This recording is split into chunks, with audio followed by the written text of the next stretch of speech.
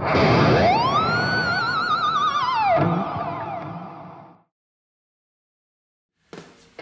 guys, how you doing? It's Rabea again.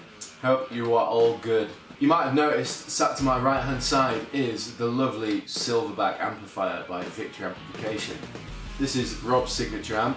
I'm very proud of my friend Robert for being able to release such an awesome amplifier. And I, when I say awesome amplifier, I'm genuinely serious. It's a really good amp. A little bit of background. Obviously, you know, Victory um, is a British amplifier company and the genius that is Martin Kidd designs all the amplifiers and he gets that beautiful tone that we all know and love. Guthrie now endorses Victory which is beautiful because he's an amazing player and you know Rob got his signature amplifier made which I think is just awesome. Two channel amplifier, it's 50 watts but you can switch it down. We've got a high and a low output setting which is really nice. You know people that know Rob well enough will be able to hear his favourite tones in the amplifier. Um, you know, it goes from that sort of JCM 800 sound, like it's got that Soldano kind of soaring lead tone and stuff like that, and you know, probably some other stuff in there. Um, and the, there's really nice features like the trap door on the top so you can change the valves nice and quick, which is just ingenious really. I think it's a really cool idea, so well done Rob. And this lovely uh, guard that you can put in front of the controls so that it doesn't get knocked about in transit, which is cool.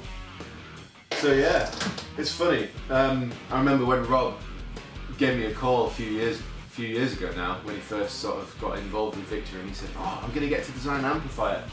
You know, what? You know, got any ideas?"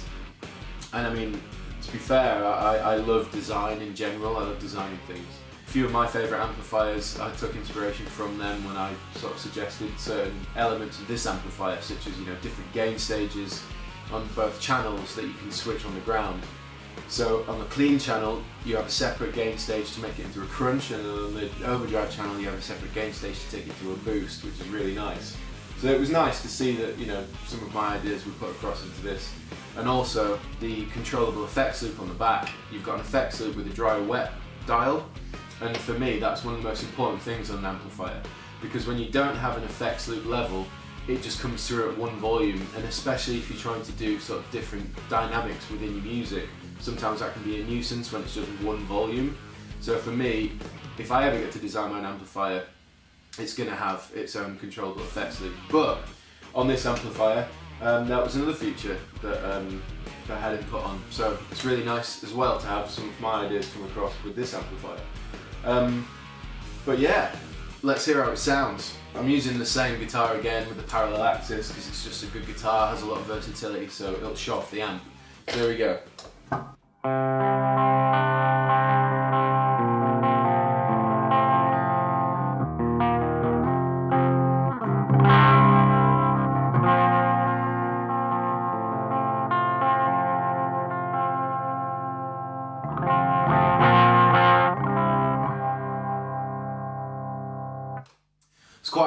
Output pickup, so it's, it's breaking up a bit. So let's move across to the middle and see what that sounds like.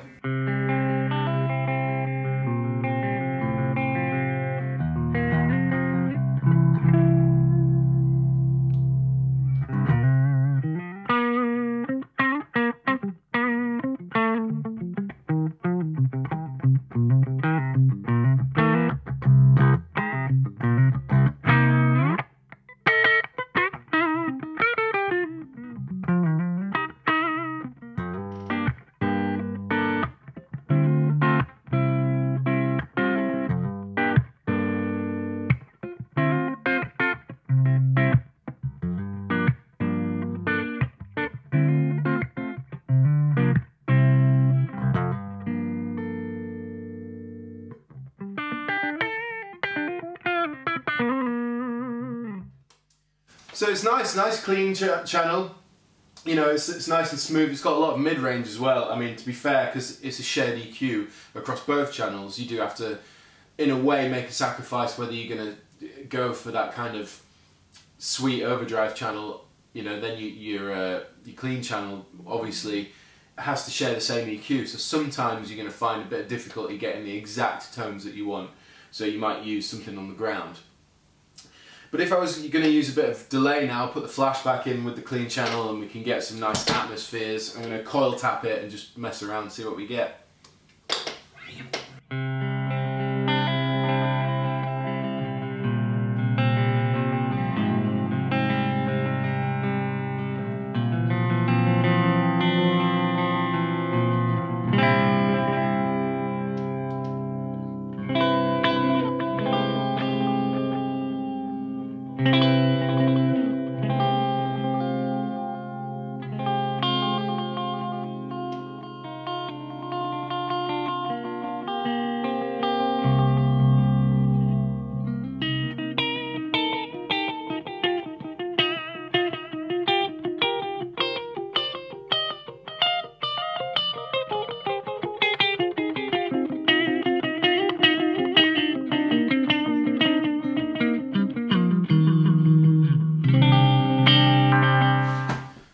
There's just a quick insight into the clean channel.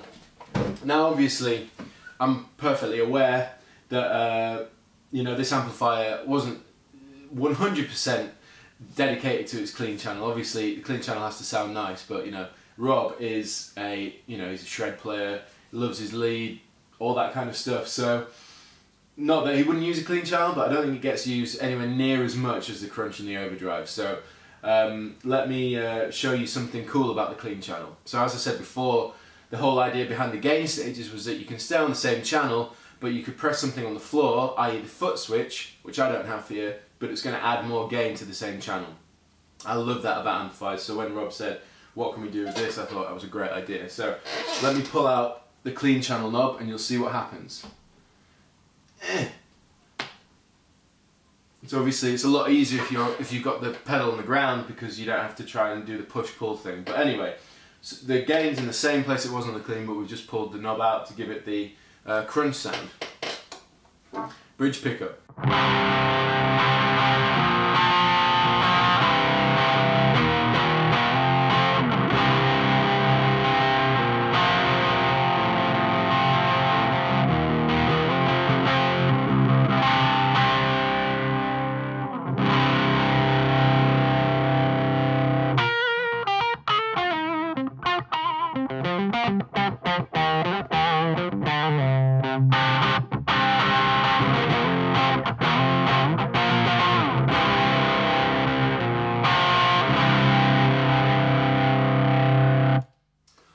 Channel. It's a lovely crunch. Uh, nice. It gives me a sort of reminds me of that sort of JCM 800y sound on a low gain, sort of not low gain, but you know like held back sort of feel.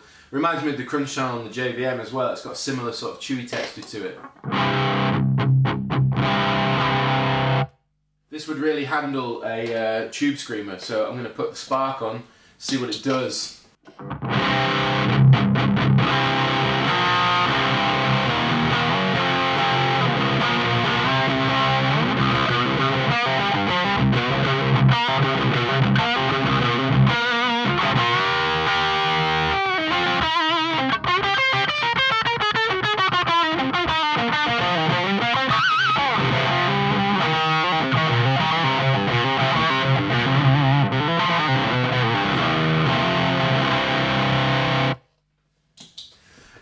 It tube screamer on the crunch channel. That's a really nice tone.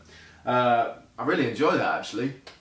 Um, let's coil tap it and see what else we can get from it.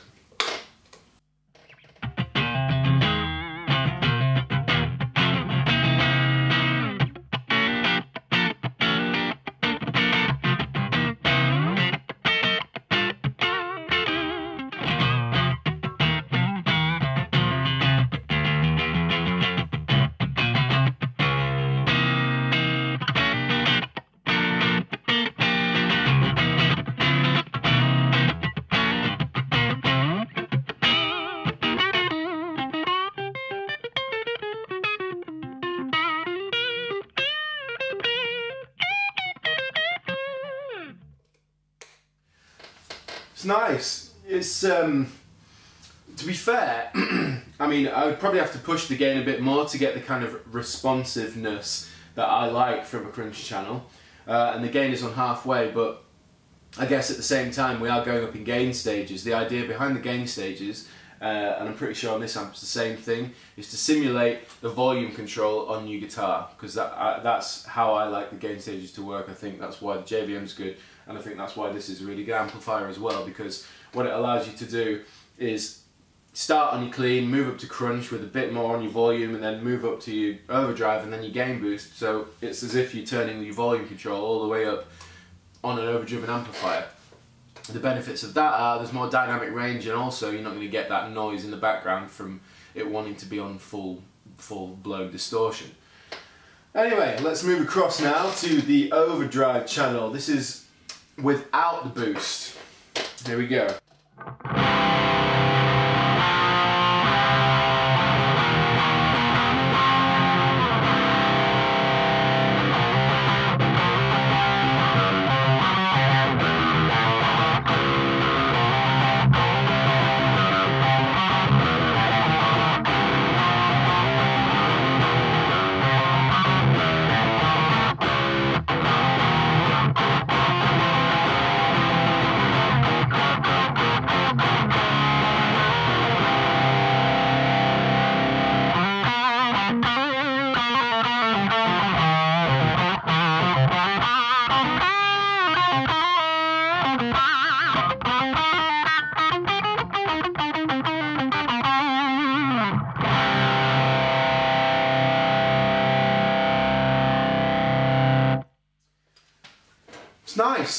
Again, it, it, does feel, I mean, I haven't got the gain very high because when the boost kicks in, you want to notice a difference, but gain's on about 11 o'clock.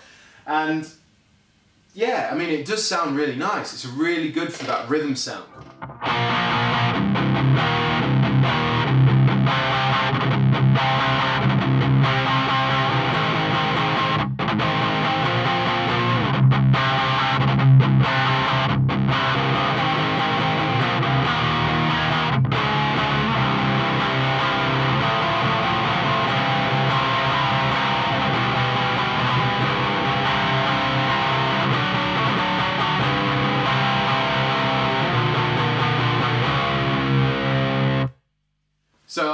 Could have loads of fun with that. If I was playing live, I'd probably push the gain up a bit more um, for my rhythm sound, uh, just to give me a little bit more in the chuggy end of things. I probably wouldn't really play lead on this setting because there's not enough sustain, but um, it's really, really good for that saturated chord sound.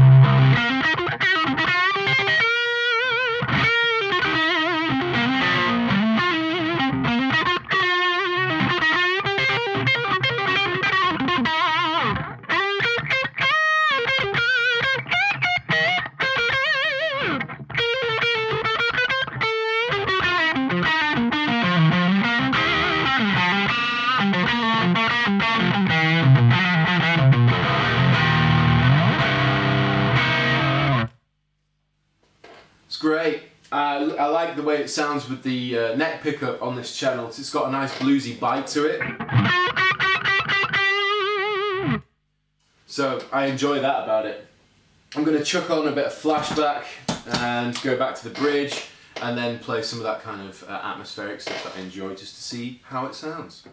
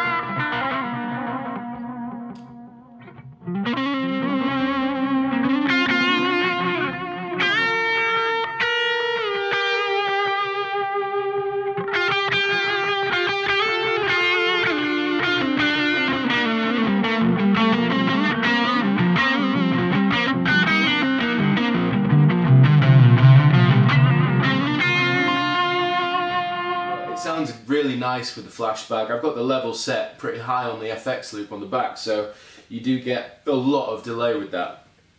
But I really enjoy it. I think it's really, it's got, it's got that British tone, but it's a bit smoother in the mid range. And obviously, it's a British hand wired amplifier, so it's you know top top top notch in terms of its truly you know proper class A amp. But um, yeah, I mean, it's got that sort of British sort of martially brittly tone a bit. That's the way it's voiced, and that's what Rob kind of likes. But um, it's smoother in the it's smoother in the mid range, which is something quite common of the Victory amp range. One thing that I must say that I'm not a huge fan of personally, which is why I've opted for the Panama cab as well, and I've rolled the bass pretty much all the way off, is because I'm it, has got a lot of low end as this amplifier. Something I have noticed about Victory amplifiers is they're um, you know they're not that you can play some really nice you know um, chordy stuff, saturated heavy chords and stuff, but as a rhythm amplifier, they they do they're voiced quite dark. So what you get is a, a, lot of when you're trying to chug and stuff, it doesn't have the definition that, that I'd look for in a in an amplifier for rhythm sounds. Um, and I've noticed that a lot of the victory players are lead players, and so that's why they're voiced dark is because when you've got a lot more low end and you're playing um, lead, you want to have the weight behind it. You want to have that oomph behind each note that you pick for when you play, and it makes sense. Um, so you know, for that reason, I'd say that they're doing the right thing. So purely in the interest of fairness, I thought I would pair up the Silverback with the 212 that it's meant to go with, or optionally you can also have the 412. Uh, I believe they're loaded with V30s. Um, and yeah, I think one of the things I've noticed, again, like I said, the amp itself is voiced reasonably dark, or at least the Victory range is. Uh, Rob's is actually the brightest of the range, um, but the cabs also add to that, so they're very boomy, very bassy. This is lovely for lead, but again, for playing sort of rhythm and stuff like that, you can find that it can start to chew up a bit. But I'm not saying anything other than let's try it out. So Silverback into its Victory 212.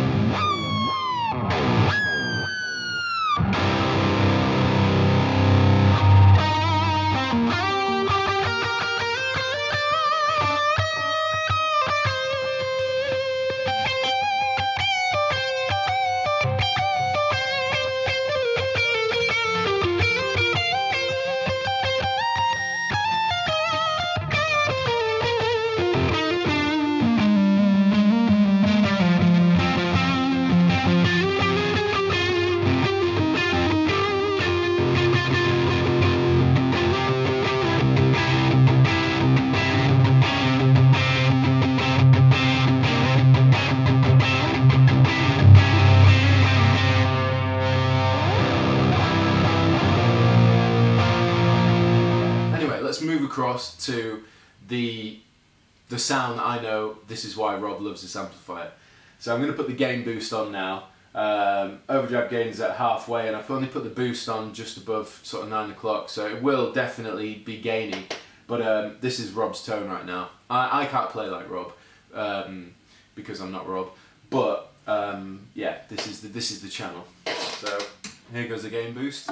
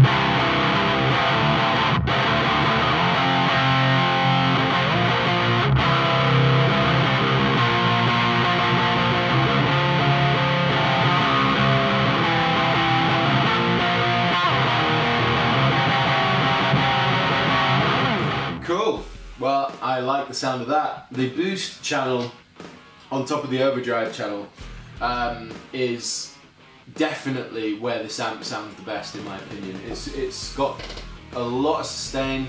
It's really the gain sound, you know, the tone stack really helps you play. You know, it gives you a lot of dynamic variation. You can really pull out some sick squeals on it, and it just allows you to, you know, just shred and just wail. And that's exactly what Rob does best.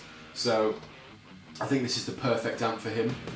Um, for me, personally, the tone of the amplifier is just a little bit on the gainy side in terms of it, it, the type of overdrive that it is is is definitely like that kind of tiny terror tone that Rob used a lot for a lot of years and you can really hear that I think in, in the tone of the amplifier. Um, for me, I, I prefer a little bit more of a clean cut overdrive because I'm not the cleanest player, especially when we're playing fast. And the cleaner the amp for me, the more forgiving it is in a way. I find with a lot of distortion or the type of distortion, sometimes it can make you sound messier. Um, and Rob's a very clean player as well, so this amp's perfect for him. But that being said, this amplifier definitely, I'd, I'd give this for me seven out of ten personally. Um, it's uh, it looks beautiful as well, nice and understated. You wouldn't know it's Rob's signature to be fair. Um, you can pick these up for about 1800 quid I think. And for a British hand-wired amplifier with that kind of feature set in it as well, not just a straightforward two-channel amp, it's actually more like a four-channel because you've got clean, then a clean boost, kind of crunch sound, then your overdrive, then a boost sound. Which isn't just a shred, it actually, as you heard, it does a lot of cool rhythm sounds too. And you've got overdrive, you've got two masters, shared EQ, dry and wet signal blend. Um, it just kicks ass, to be honest. And a trapdoor, and a guard to, to stop you from knocking the controls off. So with all that packed into one little box like that, I think 1800 quid's quite modest, personally. Um, some of you might, you know, say that's not the case, but for me, I think, you know what, if you're going to spend a chunk of money on an amplifier, this wouldn't be a bad option, in my opinion. And I'm not just saying that because Rob's my best mate, it's because, like, I, I, I do think it's a very well engineered amplifier and there's been a lot of time, care and attention that's gone into it too. So yeah, hope that was insightful enough for you. I hope um, you know that I made it sound good. I hope Rob enjoys this. Um, but anyway, thanks Rob for letting me do a quick demo of it and you know I think well done on you man. I think I'm really proud of you as a friend to say that you've got your own signature amp that you can buy all over the world and stuff. Um, I think it's really awesome. So well done. And uh, yeah, I will be back soon with more epicness of video form. Anyway, Catch you soon.